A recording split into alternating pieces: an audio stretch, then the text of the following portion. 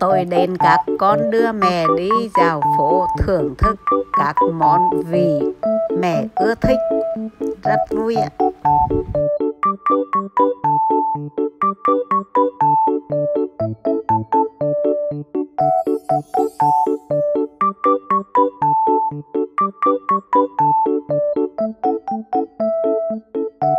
Thank you.